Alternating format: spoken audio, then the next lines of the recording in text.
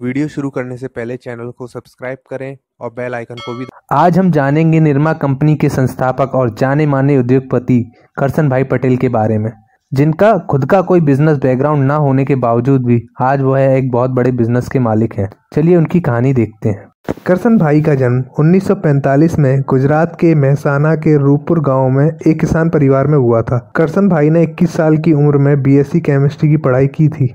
उन्होंने अपने करियर की शुरुआत अहमदाबाद के एक कॉटन मिल में लैब टेक्नीशियन के रूप में शुरू की थी। करसन भाई की केमिस्ट्री में अच्छी पकड़ होने के कारण उन्हें उन्नीस सौ उनहत्तर में स्टेट गवर्नमेंट के जियोलॉजी एंड माइनिंग डिपार्टमेंट से जॉब ऑफ़र आया।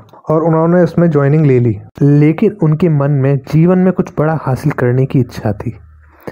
इसीलिए उन्होंने अपने घर के एक छोटे से रूम में खुद के हाथों से वॉशिंग पाउडर बनाना शुरू किया। उन्होंने इस वॉशिंग पाउडर का नाम अपनी बेटी निरुपमा के नाम पर रखा जिसकी मृत्यु एक कार एक्सीडेंट में हो गई थी। उस वॉशिंग पाउडर को जब वह अपने ऑफ़िस के लिए अपनी साइकिल पे जाते थे तो लो, लोगों के घर घर जा जाके वॉशिंग पाउडर को वह बेचते थे। और जब ऑफ़िस से आते थे तब भी वह ऐसा ही करते थे। इस प्रकार उन्होंने लगभग तीन साल अपना वॉशिंग पाउडर इसी प्रकार बेचा।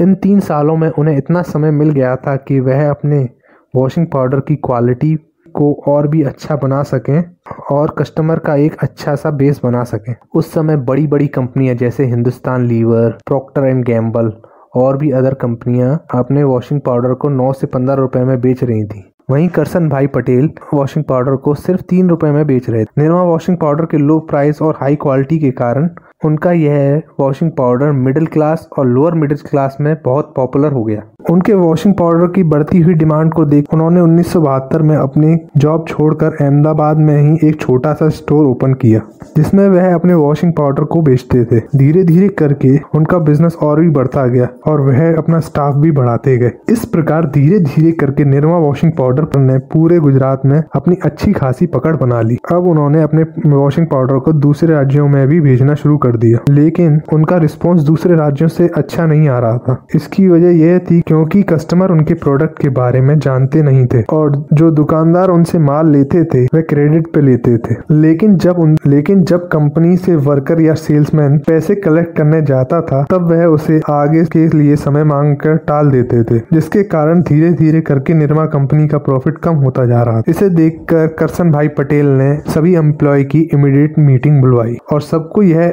स्ट्रिक्ट ऑर्डर दिया कि अपना सारा माल मार्केट से वापस मंगवा लो और आगे की सप्लाई को भी रोक दो। इस कारण रातों रात निर्मा वॉशिंग पाउडर मार्केट से पूरी तरह गायब हो गया, जिससे दुकानदार और दूसरी कंपनियाँ बड़ी हैरान हो गईं। लेकिन करसन भाई पटेल के दिमाग में कुछ अलग ही बात चल रही थी। उस समय भारत में तेज़ी से बदलाव होते जा रहे थे। इस कारण ज़्यादातर लोगों के यहाँ पे कम से कम एक ब्लैक एंड व्हाइट टीवी तो थी ही। तो जब कंपनी का सारा माल वापस आ गया, उसके बाद उन्होंने दूरदर्शन जो कि उस समय का सबसे प्रचलित चैनल था, उस पर लगातार एक दो महीने अपने वॉशिंग पाउडर के एड चलवाए। इस एड के बोलों ने लोगों के दिल में घर कर लिया। अब हर एक कस्टमर को निर्मा ही चाहिए था। लोग रोज मार्केट जाते तो निर्मा ही मांगते, लेकिन निर्मा कहीं मिलता ही नहीं। इससे दुकानदार भी बहुत परेशान हो गए। क्योंकि निर्मा की डिमांड बहुत बढ़ गई थी, लेकिन निर्मा की सप्लाई तो आ ही नहीं रही। निर्मा की डिमांड को देखते हुए करसन भाई पटेल ने एक बार फिर से एम्प्लॉयज़ की मीटिंग बुलवाई। और सप्लाई को दोबारा शुरू करने की नई टर्म और कंडीशन बताए कि निर्मा कंपनी अब से क्रेडिट पर माल नहीं देगी। इस एक डिसीज़न से उन्होंने अपने ब्रांड की वैल्यू और कंपनी की वैल्यू कई गुना बढ़ा ली। इस प्रकार निर्मा एक बहुत बड़ी कंपनी बन गई। आज के समय में निर्मा ग्रुप लगभग चौदह हज़ार से ज़्यादा लोगों को जॉब प्रोवाइड करती है।